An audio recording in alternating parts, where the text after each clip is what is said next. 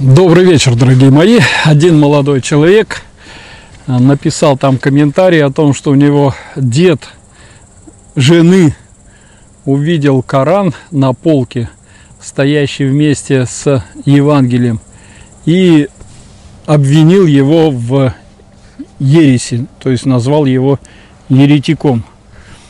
И он просит меня прокомментировать вот эта возможность читать Коран и как вообще к этому относиться.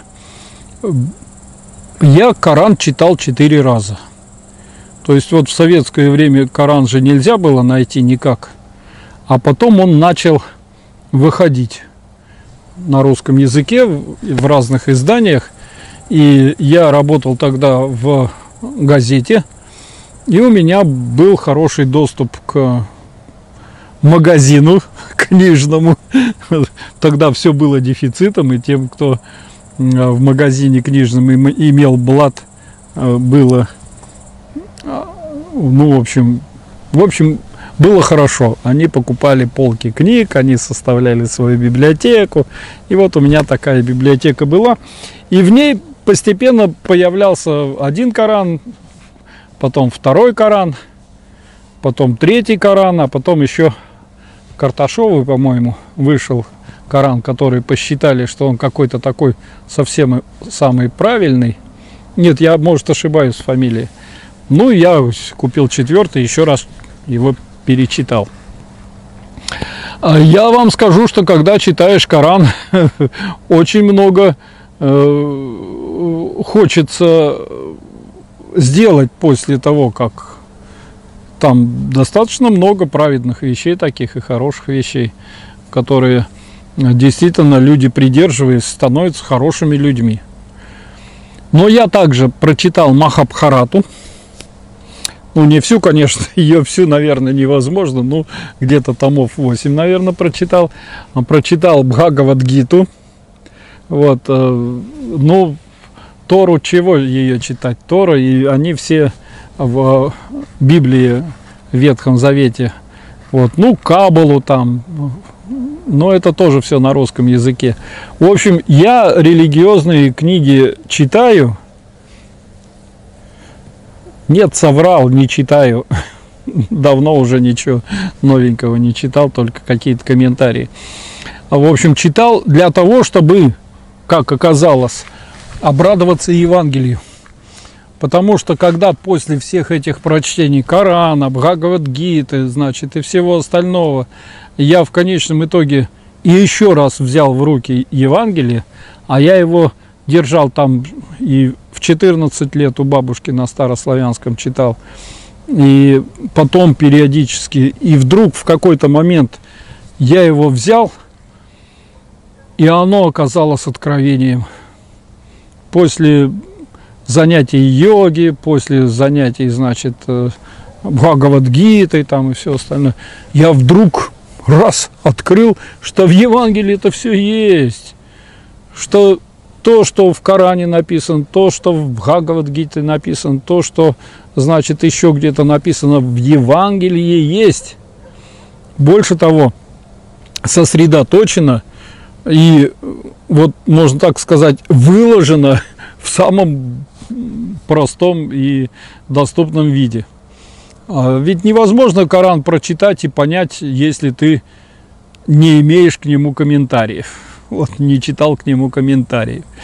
А комментарии дают э, очень многие. Вы же помните, что делятся э, на шиитов, суннитов и так далее, мусульмане. Ну, ну очень много ну, как и христиан, в принципе. Читаем одно Евангелие, а делимся на много христианства. Так вот, э, если ты прочитал и не знаешь комментариев, то, в общем-то, ну и что? Ничего ты такого не сделал. Мне Коран помог э, любить своих э, друзей-мусульман, знакомых мусульман. Я знаю, что они знают, то есть что они исповедуют. И я понимаю, как они должны себя повести по Корану в той или другой ситуации со мной. И я э, знаю, как, может быть, там не обидеть их или не оскорбить, а уж как, когда, в общем-то, с ними имею отношение. Поэтому у меня есть друзья мусульмане, есть, значит, э, с ними очень хорошие отношения. Я ничего не имею против, что они читают Коран, а они ничего не имеют против, что я читаю Евангелие. Они меня еретиком за это не обзывают. Но дедушка оказался неправ. Дедушка-то должен был тогда сесть и поговорить, что в Коране не так, как он считает, или что в Евангелии не так, э, значит, по Корану, как, как ему кажется, ну, мусульману так кажется.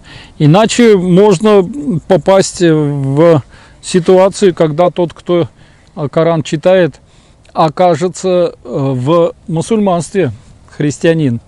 Когда ты христианин не доказываешь свое христианство любовью, а только ненависть в тебе к одним, к другим, к третьим, значит, я христианин, поэтому все остальные плохие.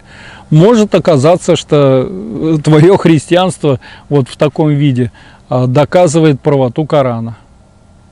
То есть обратно сторону, что христиане могут быть злые.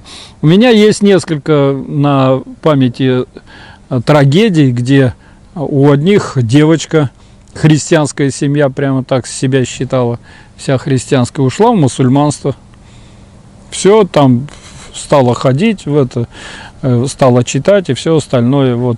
Э, некоторые уезжают даже. Вы помните, что была трагедия с девушкой, которая там в Сирию поехала, в общем. Ну, в общем, в общем, смотрите, если вы такие праведные христиане, что можете э, ругаться на тех, кто имеет на полке Коран, так докажите любовью своей, что вы действительно праведные. Объясните молодому человеку, почему преимущество Евангелия над Кораном существует – а не можете, ну, а оставьте ему самому, в общем-то, разобраться.